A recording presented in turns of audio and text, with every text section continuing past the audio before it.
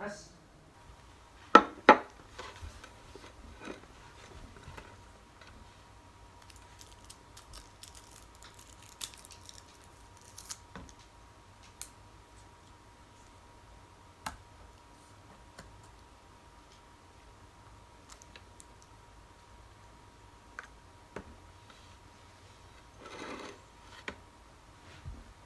ただきます。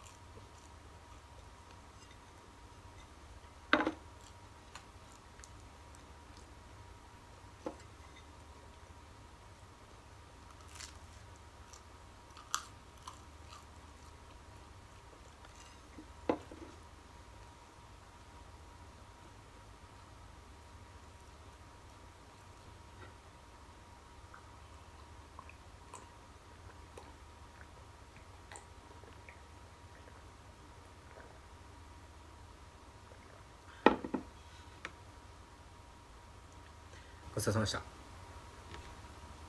やしゃれてるな。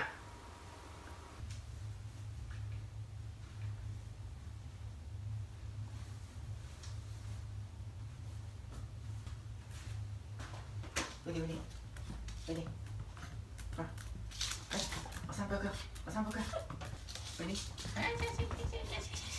はい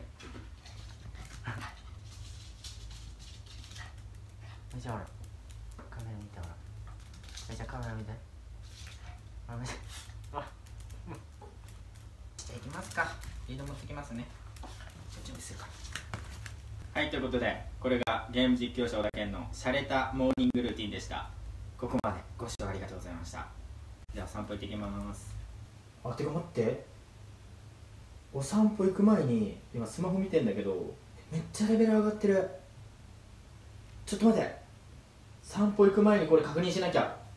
はいということで今みんなに洒落た小田健のモーニングルーティン見てもらったと思うんだけどはい。僕あれあんなおしゃれじゃないです普段。なんか雰囲気おしゃれっぽくしてるけどもうちょっとねすごい眠そうにしてるから俺。はい。ということで今ルーティン見てもらってちょっとねみんな遡って思い出してもらいたい。僕さこの動画の一番最初に何した？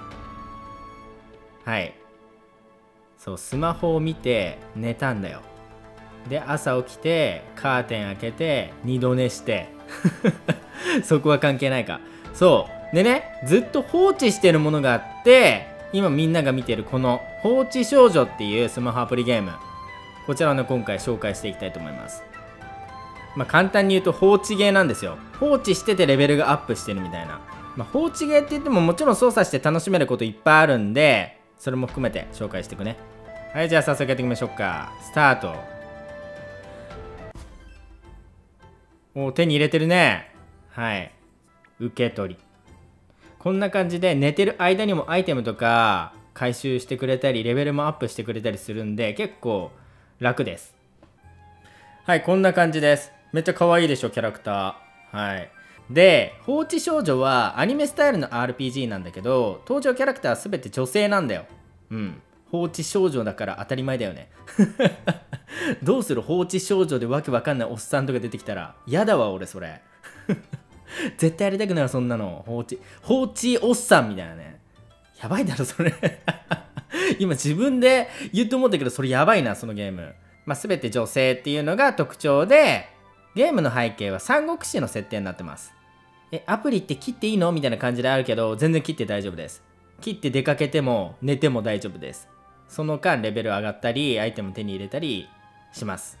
まあサクサクっとちょっとした隙間時間にプレイしたい方におすすめかな。はいちなみに無料で回せるイベントガチャがあるんでそれは必ずやりましょう。いきますよ。はい。お引いたね。アイテム手に入れたよこれ。お引けた。これも引けるね。中級も無料で引ける。オッケーオッケーオッケー。上級も引けんじゃん。やった。はい、ちなみにガールズバーの初級を回すで、初級のみ動画で回せるので必ずやってみてください。あと、デイリーミッションっていうのがあって、任務の中にあって、毎日達成すると報酬がもらえるらしいんだよね。はい、その達成すると、活躍度が増えて、宝箱をタップすると、アイテムを獲得することができます。あと、得点をタップすると、VIP 特典っていうのがあって、そこから毎日アイテムを受け取ることができます。で、これは VIP レベルに応じて報酬が変わるみたいなんで、みんな楽しみにしててください。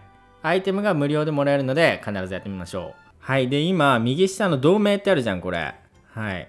これに入ると、同盟経験値、個人貢献値や同盟戦の報酬で宝石券、そして同化を獲得することができます。同盟戦には月曜から木曜12時までに同盟内のパーティーに入ることで参加することができます。一度パーティーに参加すれば、それ以降の同盟戦に自動で参加してくれるみたいなので、皆さんもぜひやってみてください。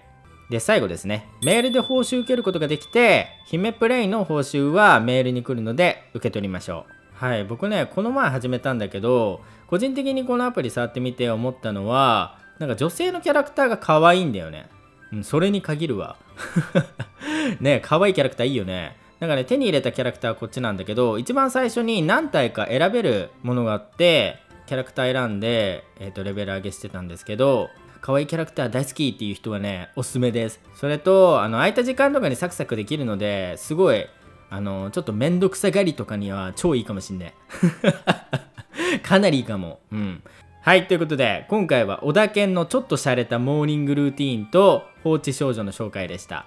はい。こちらのゲーム、僕の概要欄からダウンロードできるんで、皆さんやってみてくださいね。はい。すぐダウンロードできるんで。はい。この動画がちょっとでもいいと思ったら、グッドボタン押してくれると嬉しいです。はい。チャンネル登録もお願いいたします。Twitter もやってるんで、フォローしてね。はい。ということで、ここまでご視聴ありがとうございました。また次回の動画でお会いいたしましょう。では、バイバイバイバイ。